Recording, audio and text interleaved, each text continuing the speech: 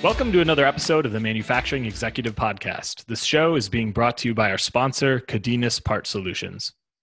I'm Joe Sullivan, your host and a co founder of the industrial marketing agency Gorilla 76. So, my wife Julie overhears quite a few of my work conversations these days, seeing that, like many, I've been working plenty from home in 2020. And as someone who's spent most of her adult life as a classroom teacher, she loves poking fun at all the business lingo that naturally pops up in these conversations. Julie, did we ever land on a decision about who's taking Grace to soccer practice tomorrow? Oh, thanks for inquiring, Joe. Let me check my agenda and then I'll circle back by EOD and shoot you an email regarding my capacity. Okay, so maybe I'm guilty of a little business jargon from time to time. And one of those terms that Julie has actually made fun of me for on more than one occasion, because frankly I use it often, is the term thought leadership. Thought leadership is a term that's been thrown around more liberally in recent years. But what exactly does thought leadership mean? Does it simply imply that you create content in your industry, or that you have a blog on your website, or maybe that you spoke at a local Chamber of Commerce event in your town a few years ago? Or is thought leadership something more than that? And how do you become a thought leader anyway? Well, Julie and everyone else listening, that's our topic today thought leadership. And our guest is someone who's built his career around that exact topic. So let me take a moment to introduce Bill Sherman. Bill helps people take their ideas to scale through thought leadership. He's spent 20 years in the field working with world class business thought leaders and Fortune 500 organizations. Thought leadership helps people see around corners. As the COO of Thought Leadership Leverage, Bill helps clients who want to use thought leadership, whether to fill a sales pipeline or influence how people think and act. Bill is considered one of the leading voices in the area of organizational thought leadership. That is, the people who create, curate, and deploy thought leadership to help their organization reach its goals. He hosts a weekly podcast titled Leveraging Thought Leadership, where he talks shop with people who are doing thought leadership work inside their organizations. Bill, welcome to the show. Hi, thanks, Joe. So, Bill, we've done a few episodes around content marketing, and mostly we've focused on the idea of pulling insights from your experts' brains and turning them into content. But what I've learned from your teachings is that thought leadership is about more than just content. In fact, content is only one of what you call the four elements of thought leadership. So I'm wondering if you could start by defining for this audience what exactly thought leadership is. Absolutely. So when I think about thought leadership, I think about it from what you described as the four elements. And they are ideas. You need to have a clear idea. Usually it's only a sentence or two in length. It's something short and simple. I sometimes hear people say, Hey, I've got an idea, and they go on and on for 10 or 15 minutes. That's not an idea, that's a story, possibly a shaggy dog story, right? An idea is short, it's simple, but it allows you to take to scale. And then that idea is supported through content, data, examples, um, stories, customer success stories those bring the idea to life and they help people understand what does it matter to me? How will it help me the problems i'm trying to solve? And then offerings. How are you packaging this idea? How are you making it accessible to others? And that could be a podcast it could be cad drawings it could be um, a webinar or a workshop paid or unpaid it doesn't matter. Sometimes money changes hands for an offering and sometimes you're giving an offering for thought leadership away for free. And the last, and perhaps the most important in B2B marketing, is platform. And I'm not talking about software technology. What I'm talking about is imagine two people are sitting down at a coffee shop, and one of them knows you or your organization, and the other one has a problem that they're trying to solve. And your organization would be a perfect fit but they have to first recognize the pain point of the person that they're listening to and then be able to describe in a very short way why your organization's ideas solve their problem. You might think of it like the elevator pitch, except it's focused on ideas. It's what ideas are you bringing to the table? And where I find a lot of organizations trip themselves up is they don't have a platform or they're not clear on what their ideas are. Yeah, I see the same thing for sure. Well, and you wrote a, a, great little ebook titled "The Four Elements of Thought Leadership." You kind of just touched on some of those, but I, that's something I would encourage people to to take a look at. We'll make sure to link to that in the show notes. Um, what kind of impact can a thought leader position in a manufacturing uh, leader's respective industry niche help them accomplish? And can you speak to both the potential impact on the company, but also on the personal brand of that individual? Yeah. So going back to your wife's question on what's the difference between thought leadership, is it just a business jargon and buzzword? The term's been around for about 100 years. And here's one of the ways that I distinguish it between personal branding and thought leadership. Personal brand puts you on stage. You might be known as prompt or creative, a problem solver, easy to work with, etc. right? But you're standing on stage in the spotlight for a personal brand. For thought leadership, you're putting the ideas on stage. You're shining the spotlight on them and attracting attention. So, in terms of what thought leadership can achieve, you mentioned a little bit in the intro, but let's unpack a little bit more. Thought leadership can help you fill a sales pipeline. And so, if you're looking over the next quarter and you're saying, how are we generating leads and opportunities? Thought leadership works a little bit differently than content marketing, although there is some overlap, okay, to help fill a sales pipeline. The second thing you can do is use it to sustain a conversation with someone when a sales conversation would be awkward or even inappropriate. Okay. So imagine you've got a buyer with a very long sales cycle, right? And you can't send your sales team there month after month to say, hey, are you going to buy? Right? At some point, buyer will look and go, stop bugging me, right? You've got nothing to, new to add to the conversation. Thought leadership allows you to stay engaged, getting them to think about issues. Because what thought leadership is about is around seeing around corners into the future see either a possible risk or an opportunity, right? And then you bring that information back. So if you're doing thought leadership, you're having an opportunity to continue that sale, that conversation when it's not a sales conversation. And then finally, influencing how people think and act. You may want to help persuade a um, your employees as to what the future will look like and get them on board for the vision of the future. Or you may be trying to persuade your industry, vendors, suppliers, even your customers and prospects, and saying, here's what we need to do because this is right, this is the future. Those are three ways thought leadership can be used. That's great. like, you know, how do you see when you see somebody doing it really well? Like somebody is truly becoming a thought leader um, and earning that position what's the impact that you see? You know, what what changes for the organization? So let me call out something that is important. Thought leader is a title that is generally given rather than one you describe yourself as. Mm-hmm. So that's why you'll hear, you know, a conversation about thought leadership is different than if you stand up and say, I am a thought leader. You can sound a little obnoxious if you're saying, I'm a thought leader, mm-hmm. right? So in terms of the impact with that, what you see from individuals is when you're sharing insights, you attract attention.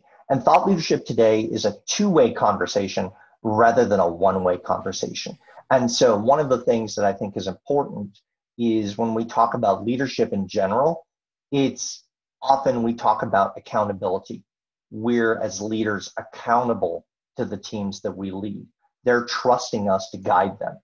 That same concept transfers over pretty nicely to thought leadership.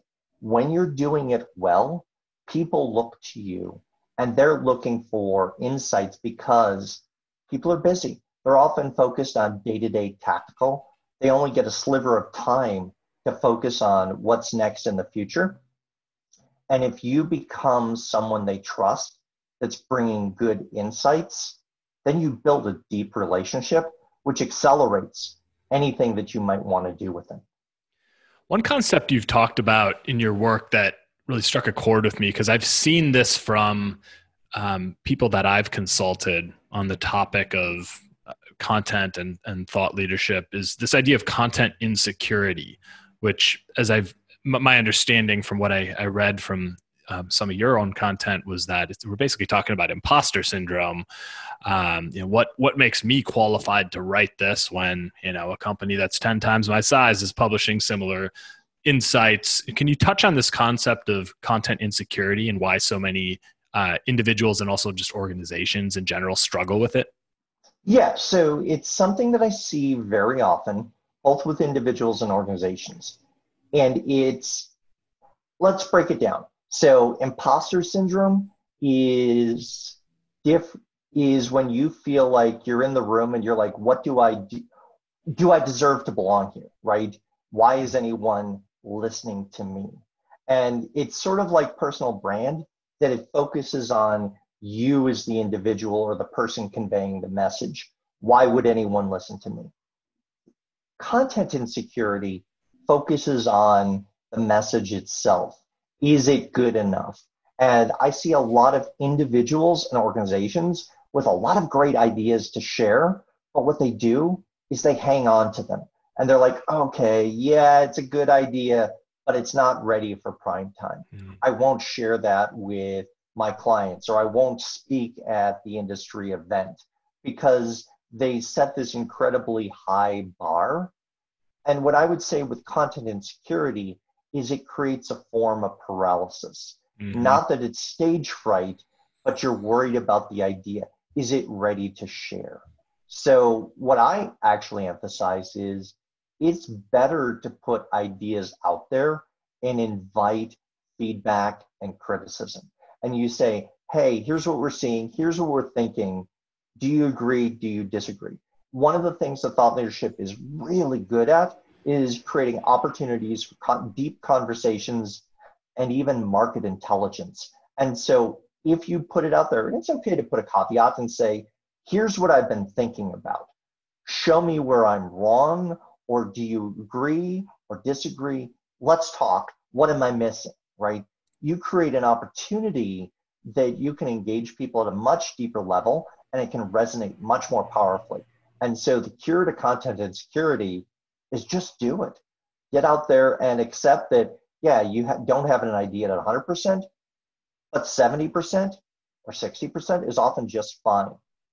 I love that. I mean, you know, this idea that um, you're welcoming people into the conversation is so important because I think you know, when you think of thought leadership and um, being a, an authoritative voice, I think probably a lot of people's heads go to, okay, I need this needs to be perfect. It can't be there can't be any mistakes in here. There can't be any questions that this is right. Um, this is just the final word, and and I think that's probably what causes the paralysis is because people know they're going to be judged from the moment they put out an insight. So they better, you know, they're thinking to themselves, I better be really confident that this is exactly right, and and you know, I can I can stand behind this. But if you just do the simple thing that you suggested, Bill, you know tell me where i'm wrong or you know what's what are your thoughts on this? Because this is what i'm seeing. Now you're you're positioning yourself like you're, you're still sharing these really important smart insights but you're you know you're inviting people into the conversation. You're creating a dialogue. Now you're an approachable person as opposed to somebody who is just positioning themselves as a know-it-all. Uh, such a better way to do it. Well and one of the things i think about and i use a metaphor a lot about ideas is almost metal and that you wind up forging it, right? And that you've got to hammer it and beat it into the shape that you want.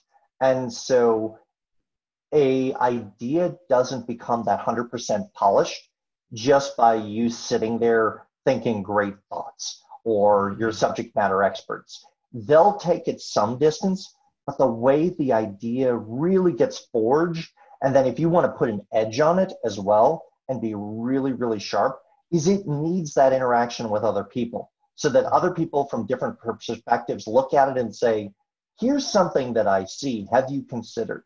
If you don't get those perspectives, you're going to always feel the idea isn't perfect because you're only looking at it through a limited lens. You want to invite other people to help you really beat it into shape.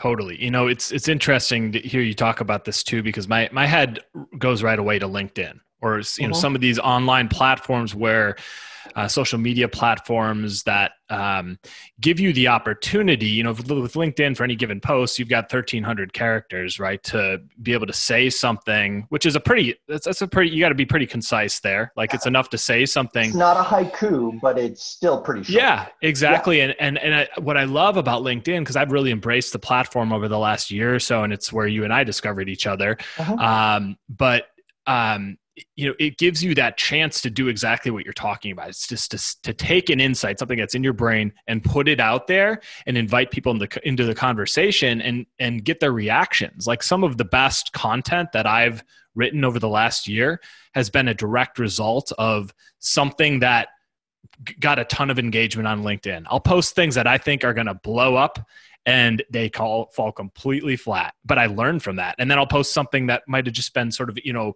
a thought or idea. You know it's usually it's related to industrial marketing strategy since that's sort of my expertise. But um and you know it gets 50 100 comments. It gets you know a bunch of likes. It's just circulating like crazy. And, and then i know okay now I'm on to something here. Like this is something people care about, and then I'll go produce a video about it, or or some uh, you know a, a, longer written piece of content uh, on our blog or by email or something. But if I if I hadn't just uh, you know as, as like Seth Godin always says, shipped it right. Just if I hadn't mm-hmm. just put that idea out there, I never would have had the opportunity to see people react to it and learn what's actually engaging to them and what's not. So I don't know if you have any thoughts to, to add yeah, to that. I do. There's a couple little add.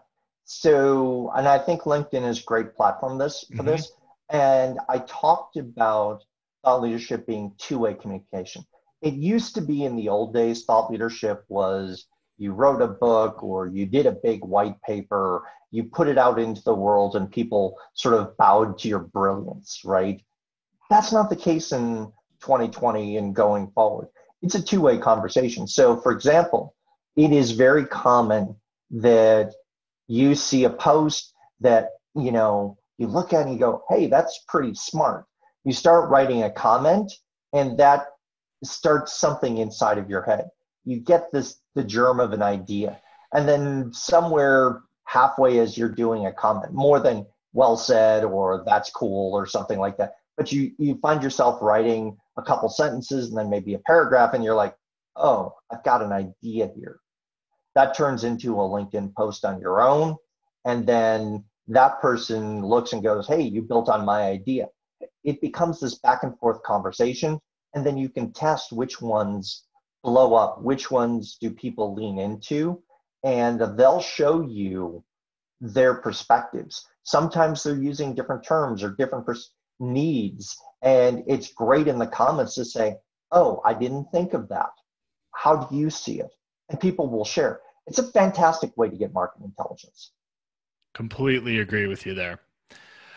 A lot of the listeners to this show, Bill, are CEOs, presidents, or VPs of sales at mid-sized manufacturing organizations. Mm-hmm. So I'm, I'm just kind of curious, like, what are some examples you've seen from, you know, it doesn't have to be in manufacturing, but leaders of small or medium sized companies as opposed to big enterprise organizations who kind of already ha- so have sort of a platform of, of you know, given the, the company's um, you know brand name but with smaller medium sized organizations you know, do you have examples of people who have successfully built thought leader platforms in their respective spaces or niches yeah so i'll start by telling one of my favorite stories mm-hmm. for thought leadership.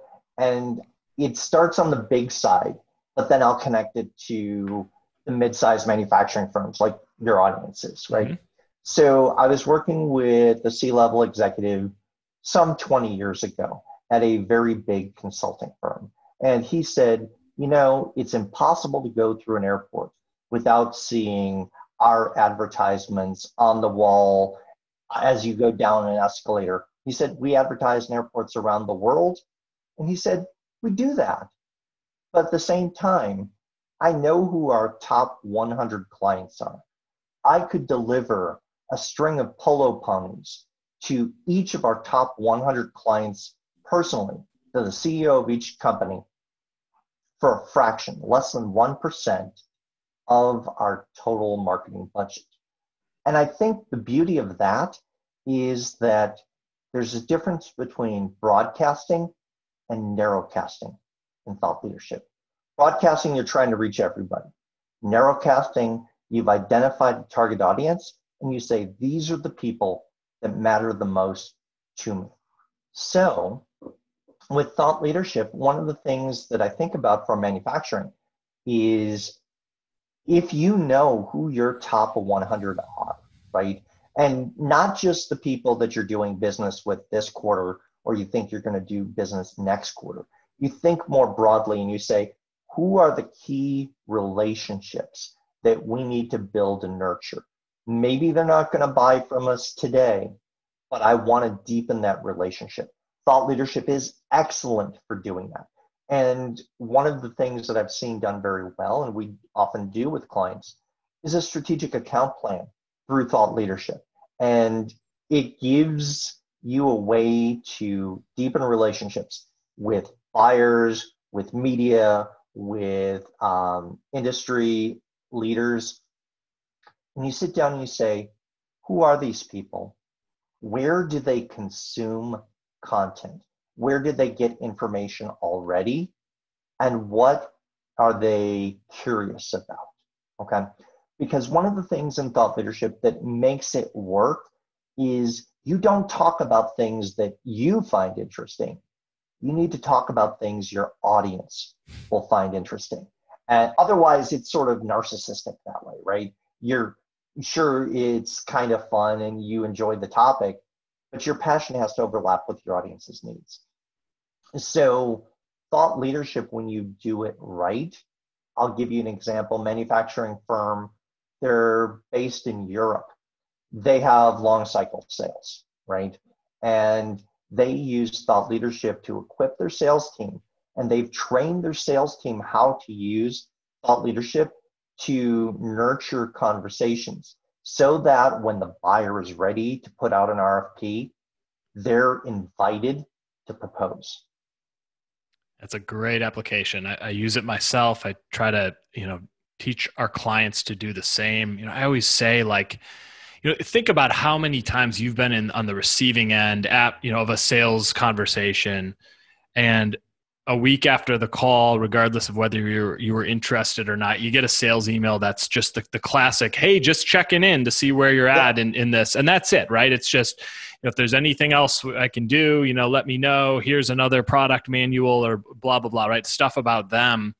Well, how about if, if you flip the, the script there and you and you say or you you with every touch point you deliver something that is insightful that addresses another common question that people like them have or something you heard on the last sales call. Hey you told mm-hmm. me this that you were struggling with this. You know, we published this article or podcast episode or filmed this little video or whatever it is that addressed that and and you know ways to get around that issue or ways to solve that problem. Thought this would be helpful to you like, well, and I think that's one of the differences between content marketing and thought leadership. The way that I look at content marketing, and you you might agree, is it's excellent when you're trying to fill the sales pipeline. That is mm-hmm. one of its primary things when you're trying to fill the pipeline and move someone through the funnel, right? But it sort of breaks down when you're trying to do over the horizon and mm-hmm. deepen a relationship, right? Content marketing winds up being at its heart very tactical. How am I moving someone who is curious to deeper in the sales funnel so they become a buyer and we start a relationship? Thought leadership is really connection based and you're building and deepening relationships. And it requires a different skill set sometimes for a salesperson. They've got to be able to look past the next 30 days, right? And so some organizations have a team that's dedicated to figuring out how do they take their best insights and then push them out into the world. Often that sits in content or in in marketing, and but it's a different function than content marketing. right? And so that person has a curation responsibility. They don't have to be the one person who comes up with great ideas. And in fact, that's a mistake. What they're doing is they're looking across the organization from top of the house to front line and saying and looking for good ideas, listening to where ideas happen within anywhere in the organization. And they could be an insight on use, they could be an insight on manufacturing, they could be a trend that someone on a line is seeing. But you're looking and saying, that's a good idea. It deserves attention from a wider audience. That audience could be internal within your company, or it could be with your clients, your vendors, whomever, but they're elevating ideas to get attention. You've made a really important point, I think. And I, you know, when when people think of content marketing, a lot of times, if it's not something they're well versed in, I think they almost equate it with um, SEO and inbound lead generation, and and that's when content starts to be driven by, you know, how how many searches are there for this thing or that thing, and it's about you know just getting in front of as many um, people as possible. And I'm not saying that's not important; it is. However, I'm a big believer that your content needs to be driven by the insights and expertise that's stored in the brains of your team and you start with these things that you know and the ones that your customers care about the most the things that you're always talking to your best customers and prospects about in sales conversations in conversations with customers and you start to recognize patterns and see what things the people you're actually trying to reach care about. And if you have deep expertise in those things it's a matter of you know getting that stuff out of your brains and figuring out how to articulate it whether it's again through written or video or audio or, or, some way to deliver that to those individuals. And then you can take that stuff and start to figure out how to apply it into seo and lead generation right? Exactly exactly. And here's the thing um, i've heard people sometimes say content thought leadership is your best content marketing and I sort of sit, scratch my head, and go, no, if you try to make thought leadership work like content marketing, you, list, you lose about 60, 70% of the really good things that you can do with thought leadership.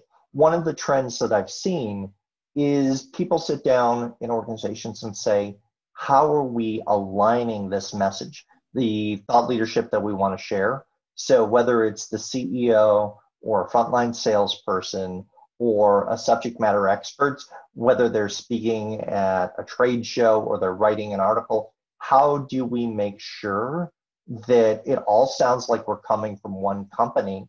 And then also encouraging smart people within the organization, people with insights to share to get over their um, imposter syndrome and content insecurity and having someone champion them and say, yeah, that's a good idea. It needs to be heard because I would say with certainty that many of your listeners within your organization now are good ideas that could help you deepen relationships with key individuals, accounts, whatever, or even help you fill the sales pipeline, but they're not reaching the audiences that they need to reach, often because someone's dismissed it or they're saying, oh, yeah, that's good, but it's not my job to get it to someone, right?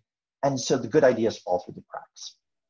I'm sure it's happening all the time inside of oh, daily. companies of everybody listening. Yep, mm-hmm. for sure.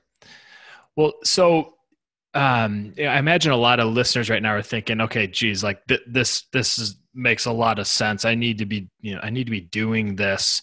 But as you said, Bill, you know, you can't just declare yourself a thought leader, right? Like it's, right, right. it's, yeah. there's, there's a reason that people are, are, you know, they have these insights and, um, and they figure out how to, how to, you know, get them out there and, um, figure out how to publish them in the right format and everything. But so for somebody who's listening right now, thinking like, okay, I, I want to start moving into this. I'd love to be a thought leader. Uh, maybe I'm capable of being one, but I have no idea how, how do I get on this path to making that happen? Like, where do you recommend somebody starts?